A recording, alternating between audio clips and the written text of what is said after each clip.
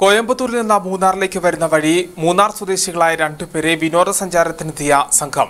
Chattamunnar check post കഴിഞ്ഞ ശേഷം വിജനമായ സ്ഥലത്ത് വെച്ച് ആക്രമിച്ചതായി പരാതി. തലയ്ക്കും നെഞ്ചിനും പരിക്കേറ്റ സൈലന്റ് വാലി സ്വദേശി രാധാകൃഷ്ണൻ കടലാർ എസ്റ്റേറ്റ് സ്വദേശി രഞ്ജിത്ത് എന്നിവരെ മൂന്നാർ ടാറ്റ ആശുപത്രിയിൽ പ്രവേശിപ്പിച്ചു. സംഭവവുമായി ബന്ധപ്പെട്ട പരിക്കേറ്റവർ പോലീസിൽ പരാതി നൽകി.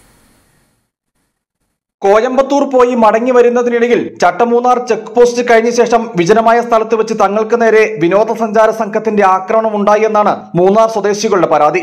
മറയൂർ മുതൽ തങ്ങളെ മറികടന്നു പോകാൻ അനുവദിക്കാതെ വിനോദസഞ്ചാര സംഘം അപകടകരമാമിതം വാഹനം ഓടിച്ചതായും ചട്ടമൂന്നാർ ചെക്ക് പോസ്റ്റിൽ ഇത് സംബന്ധിച്ച് പരസ്പരം വാക്കുതർക്കമുണ്ടായതായും മർദ്ദനമേറ്റവർ പറഞ്ഞു. ഇതിന് പ്രതികാരം എന്നോണം ചെക്ക് പോസ്റ്റ് കഴിഞ്ഞ് മുന്നോട്ട് വരികെ വിജനമായ സ്ഥലത്ത് വെച്ച് വിനോദസഞ്ചാര സംഘം തങ്ങളെ ആക്രമിക്കുകയായിരുന്നു എന്നാണ് മൂന്നാർ സ്വദേശികളുടെ പരാതി. மூணு மறையூர்லேருந்து சட்டமன்னார் வரைக்குமே நம்மளை வண்டி சைடு கொடுக்காம ரொம்ப தடசம் பண்ணியாச்சு. அங்கே வந்து கேட்கும்போது செக் போஸ்ட்ல வந்து கேட்கும்போது செக் போஸ்ட்ல வந்து அவங்க தரக்குறைவான கெட்ட வார்த்தையில பேச ஆரம்பிச்சாங்க.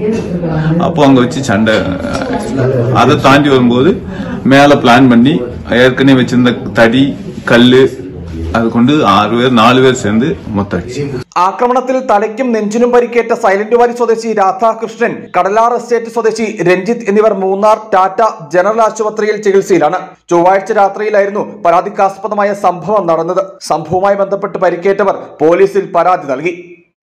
News bureau Adimali.